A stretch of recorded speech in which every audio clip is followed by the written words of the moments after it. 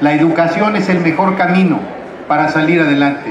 Guerrero es un estado con una gran complejidad, pero también es un estado donde hay hombres, mujeres, jóvenes, profesionistas, maestros, maestras, que todos los días dan su mejor esfuerzo porque este estado salga adelante. Y ahí nos vamos a encontrar siempre, pensando en el presente, pensando en el futuro, siempre con buena fe, siempre con toda la determinación para hacer bien las cosas. Quiero agradecerles a todos los maestros, a todas las maestras. Quiero saludar también a la tesorera general, a Leticia Jiménez Zamora. Me da mucho gusto saludarte, a mi paisana, como le digo, desde hace muchos años. Por supuesto, saludar a todos los que nos acompañan por parte de la universidad. Me voy ir rapidito a Brenda Alcaraz, secretaria general del Estaizuago. Gusto en saludarte, Brenda. Al ingeniero Ofelio Martínez del Estahuac. Por supuesto, también aquí saludamos a la doctora Berenice Illades, al maestro confesor, al doctor Inés Javier Casiano, a Ángel Carrillo, a Alejandro Bueno, a Efren Arellano, a Sara María Quinto Brito y a Luis Enrique Aguirre Justo. Así también al diputado Héctor Apresa Patrón que nos acompaña y que en el tiempo que fue secretario de Administración y Finanzas con el gobierno del Estado, siempre la instrucción fue y fue muy atendida, muy bien atendida por él, de apoyar a la universidad.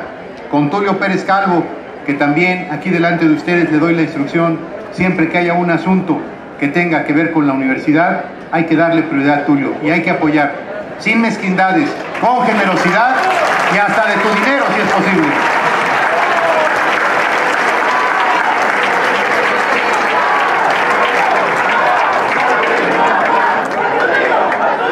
Muchas gracias. Finalmente, los felicito a todos. Los felicito a todos porque este es un bonito evento. Miren, es bonito sin duda y agradable ver cuando se da, porque al final de cuentas, cuando las se dan o se tienen responsabilidades públicas, hay que tratar de ayudar hasta el límite de las posibilidades. Y esto demuestra que el rector Javier Saldaña Almazán tiene un compromiso permanente con la institución que él coordina, que él lleva adelante. Es muy diferente ahora la universidad. Antes la universidad se distinguía porque permanentemente estaba en ebullición. Marchaban en las calles, protestaban y creo que ese fue su tiempo y su circunstancia y su momento. Hasta ahí también nosotros anduvimos, sin duda. Pero hoy son otros tiempos. Son tiempos de superación, son tiempos de entrega, son tiempos de competencia en la excelencia en el país.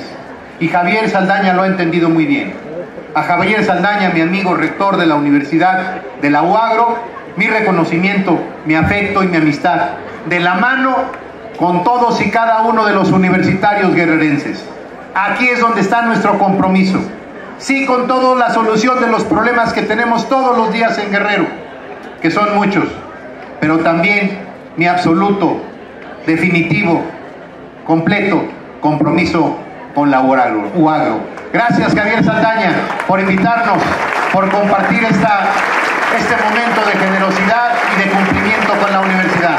Muchas gracias, que viva la UAGRO.